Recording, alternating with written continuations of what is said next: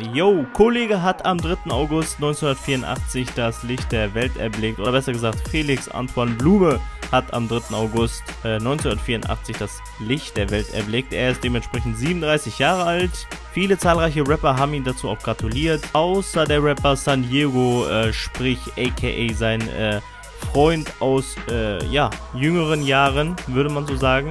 Ja, Kollege hatte wie gesagt Geburtstag gehabt und relativ spät hat San Diego sich dann doch noch äh, dazu entschlossen, oder besser gesagt, er hatte ein wenig Ärger gehabt und hat sich dann am Ende doch noch dazu äh, gemeldet. Happy Boss Day, mein Bruder, seit 2005, Kollege. Ich wünsche dir nur das Beste vom Besten und an die Leute, die mir schreiben und fragen, warum ich nicht gratuliere. Sorry für die Verspätung. Ähm, ich hatte heute ein bisschen Stress mit der Polizei, nichts Wildes, aber hat gedauert. Keine Theorien bitte. Yo, das war's mit diesem Video, Freunde. Was haltet ihr zu der Thematik generell? Wie findet ihr San Diego Kollega, dass sie sich wieder vereint haben? Ja, via Vegeta Son Goku. Eine Fusion.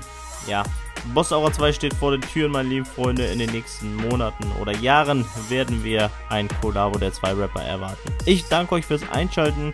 Ich wünsche euch was. Peace and out.